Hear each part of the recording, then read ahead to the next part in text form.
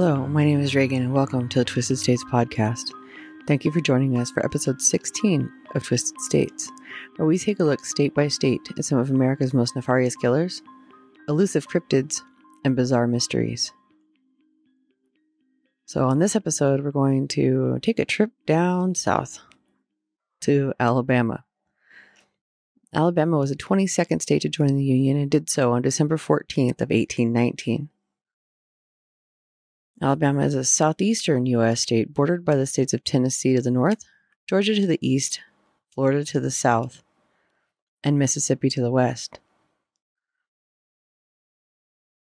The state extends south all the way to the Gulf of Mexico and ranges in elevation from sea level at Mobile Bay to more than 2,000 feet in the northeast, with its highest point being Mount Cheaha at 2,413 feet.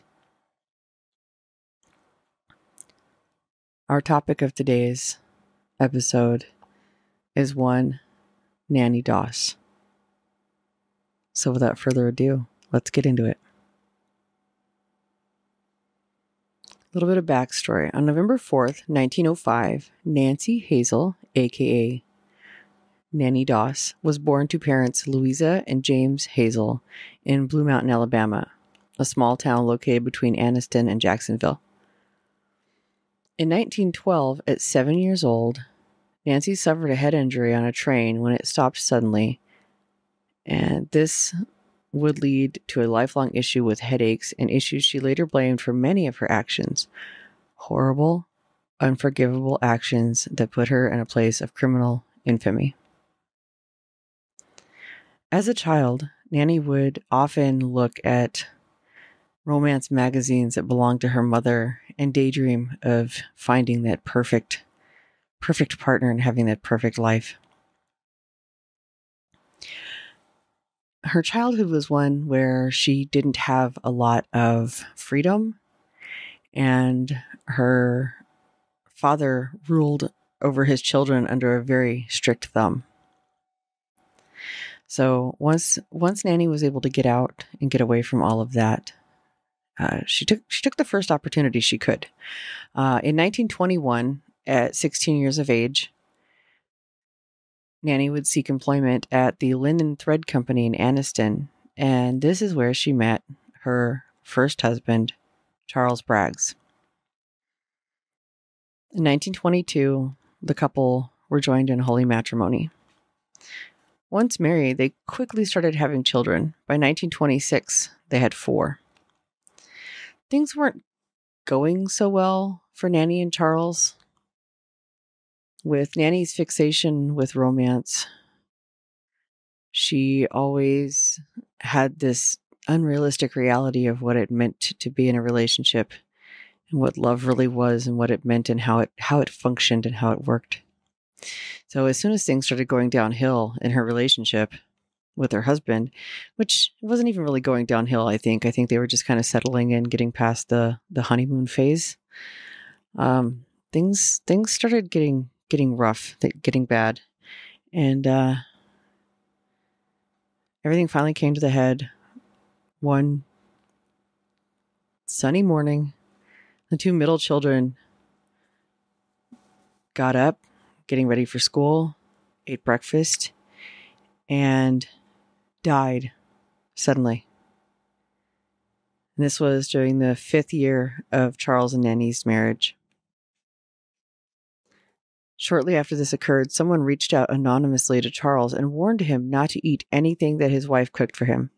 Shocked and spooked by this warning and the sudden loss of his two children, Charles left, taking their eldest daughter Melvina with them, but leaving their youngest child Florine with her mother.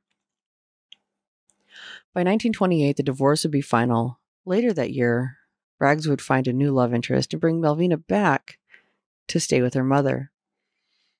Nancy and her two daughters moved back in with her parents, and she would find work in a local cotton mill.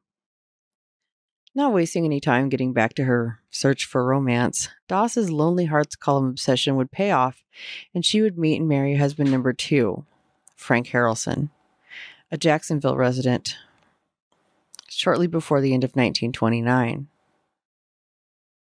Frank unfortunately, was a violent alcoholic. And this became very apparent early in the relationship. But Nannie continued to hang in there, made the best of things for several years uh, until 1945. And then once again, here we go. It seems that at this point, her murderous nature seemed to bubble up once again to the surface. First, by murdering her granddaughter with a hat pin in the hospital that year, then asphyxiating her two year old grandson Robert on July 7th, once again of 1945. She was even brazen enough to collect a $500 life insurance policy she had taken out on him just a few months earlier. Her marriage to Frank would last 16 years until one day he was out drinking with a friend, and when he came home, he forced himself on Nannie Doss. Nannie went out to the yard the next day and poured rat poison into Frank's moonshine bottles that he had buried in the yard. Frank passed away on September 15th of 1945 from what was assumed to be food poisoning or some other ailment. Nothing was questioned at the time. No one was even remotely concerned that there may have been foul play.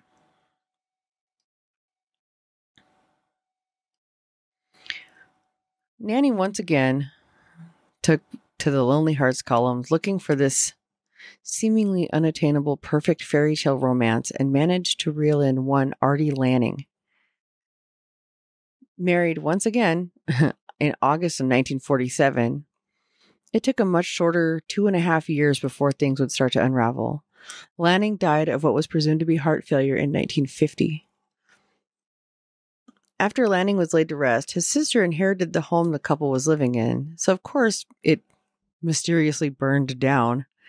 And Nannie managed to find a way to get her hands on some of the insurance money. During this series of events, Nannie was caring for Lanning's mother due to a broken hip and she passed away in her sleep.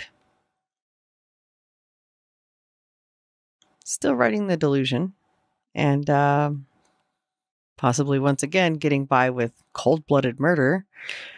Doss quickly went right back to work, lining up a new suitor using a dating service called the Diamond Circle Club to secure her next victim. Richard L. Morton of Jamestown, North Carolina, was no alcoholic and was not physically abusive. Shortly after their marriage in October of 1952, Doss's mother, Lou, moved in with the couple after her husband's death and died suddenly after complaining of stomach pains. Three days after Lou's death, Morton, whom Nannie had discovered was a womanizer and was having an affair with his ex, died after drinking a thermos full of arsenic spiked coffee. Nannie immediately set out once again, and this time she set her sights on one Samuel Doss. The two were married in June of 1953. Sam was frugal, boring, fiscally responsible, and easily convinced to take out two considerable life insurance policies. Within weeks of doing so, Mr. Doss started complaining of stomach issues due to, unbeknownst to him, poisoned prune cake. Wow. He was hospitalized, but managed to survive this attempt on his life that he was completely unaware of. But of course, he came home and perished shortly after a second attempt with poisoned coffee that managed to be successful. This last murder, though, was Nannie's undoing. After being convinced by Samuel's doctor to have an autopsy done to possibly save future lives, it was discovered that Doss's body contained enough arsenic to kill a horse. The authorities were immediately contacted and Nannie was arrested for murder. For the simple favor of being allowed to keep possession of a romance magazine, Nannie willingly confessed to killing all of her deceased husbands, many of whom were exhumed and tested to find they too had been poisoned. At 48 years old, the state of Oklahoma found her guilty of murder. She was never tried in the other states, but was charged in North Carolina, Kansas, Kansas. Wow, that's not a state. Kansas and Alabama as well. Initially, Nannie was facing the electric chair, but the judge handling her sentencing said he couldn't see himself setting such a poor precedent by executing not only a woman, but a woman that had obvious mental disabilities. It was during her interrogations that Nannie was given the nickname of the Giggling Granny. Due to her tendency to giggle when telling of how she poisoned her husband, she seemed to revel in the prospect of serving a life sentence.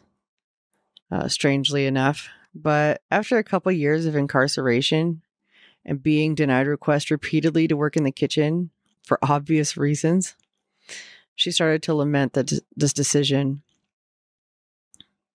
Nannie Doss died from leukemia on June 2nd of 1965, the 10th anniversary of her incarceration, and was buried in McAlester, Oklahoma at Oak Hill Memorial Park Cemetery. Wow. so there you have it. There's the story of Nannie Doss, aka Nancy Hazel, born one Nancy Hazel,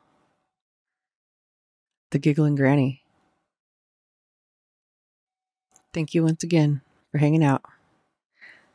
This is Reagan, signing off for Twisted States.